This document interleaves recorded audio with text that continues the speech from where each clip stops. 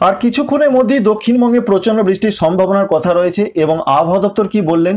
তারা বলছেন নয়টি জেলাতে আজকে রাতেই ভারী বৃষ্টি হতে পারে। কোন কোন জেলাতে সেই পূর্বাভাস তাঁরা দিলেন সেটাই শেয়ার করব। আগামীকাল কেমন আবহাওয়া থাকবে এই নিম্নচাপের জন্য কতদিন বৃষ্টি হতে পারে? সমস্ত কিছু জানতে হলে ভিডিওটি শেষ পর্যন্ত দেখুন। কাজে লাগলে লাইক করতে ভুলবেন না।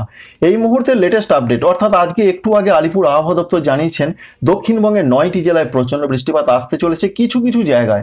একটি জেলার যে সব জায়গায় ভারী বৃষ্টি হবে এমনটা কথা কিন্তু তাঁরা বলছেন না।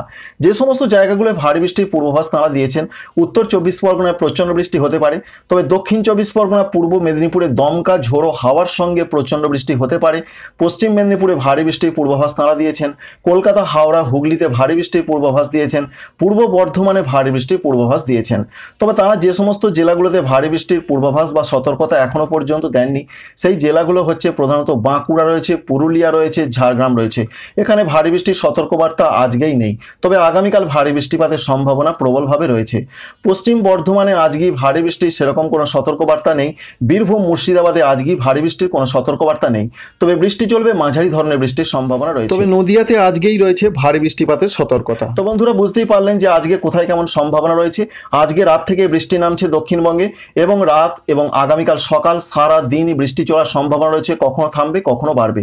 আগামীকাল প্রধানত ভারী বৃষ্টির পূর্বাভাস রয়েছে দুই চব্বিশ পরগনা দুই মেদিনীপুর, কলকাতা, হাওড়া, হুগলি, পূর্ব বর্ধমান, এছাড়া রয়েছে ঝাড়গ্রাম, বাঁকুড়া, পুরুলিয়া, পশ্চিম বর্ধমানে প্রচণ্ড বৃষ্টির কিন্তু সম্ভাবনা রয়েছে। সঙ্গে দমকা ঝোড়ো হাওয়া বইতে পারে, তিরিশ থেকে চল্লিশ কিলোমিটার গতিবেগে এমনটা রয়েছে পূর্বাভাস। এবং আঠারো তারিখের পর উনিশ তারিখেও যেমন আমরা দেখলাম বৃষ্টির সম্ভাবনা অর্থাৎ আগামীকাল, এবং কুড়ি তারিখেও বৃষ্টি চলবে পশ্চিম দিকের জেলাগুলোতে। বিশেষ করে রয়েছে দক্ষিণ চব্বিশ পরগনা, পূর্ব মেদিনীপুর, এই দুটি উপকূলের জেলা ছাড়াও পশ্চিম দিকের জেলা যেমন পশ্চিম মেদিনীপুর, ঝাড়গ্রাম, বাঁকুড়া, পুরুলিয়া, পশ্চিম বর্ধমানে কোথাও কোথাও বিক্ষিপ্ত ভারী বৃষ্টি হতে পারে। বাদ যাবে না উত্তরবঙ্গ। উত্তরবঙ্গে আজকে রাতের দিকে মালদা, দক্ষিণ দিনাজপুরে মাঝারি মানে বৃষ্টি হতে পারে, তবে আগামীকাল যে আলিপুর আবহাওয়া দপ্তরের পূর্বাভাস রয়েছে, প্রধানত রয়েছে জলপাইগুড়ি, কালিম্পং এবং আলিপুরদুয়ারে ভারী বৃষ্টি। অনলাইন সিস্টেম দেখাচ্ছে ওপরের পাঁচ জেলার কোথাও কোথাও ভারী বৃষ্টি চলবে। দক্ষিণ দিনাজপুর, মালদা এবং উত্তর দিনাজপুরে মাঝারি থেকে দু এক জায়গায় ভারী বৃষ্টির সম্ভাবনা। সতর্কতা কিন্তু নেই আবহাওয়া দপ্তরের তরফ থেকে, তবে অনলাইন সিস্টেম দেখাচ্ছে কোথাও কোথাও মাঝারি বৃষ্টি হতে পারে।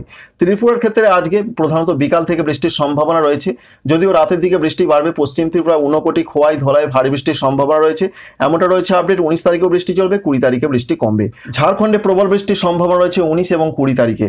রয়েছে ধানবাদ, জামশেদপুর, রাঁচি, এখানে প্রবল বৃষ্টি কিছু কিছু জায়গা হতে পারে। এছাড়া ডালটনগঞ্জ, মিহিজাম, দেওঘর সহ অন্যান্য জায়গায় উনিশ এবং কুড়ি তারিখে প্রচণ্ড বৃষ্টির সম্ভাবনা রয়েছে। বাংলাদেশের ক্ষেত্রে প্রধানত খুলনা, বরিশাল, চট্টগ্রামে আজকে রাত থেকে প্রচণ্ড বৃষ্টির সম্ভাবনা রয়েছে। তবে আগামীকাল সারা বাংলাদেশ জুড়ে বিক্ষিপ্ত ধরনের ভারী বৃষ্টি কোথাও কোথাও চলতে পারে। সেই সম্ভাবনা রয়েছে খুলনা, বরিশাল, চট্টগ্রাম।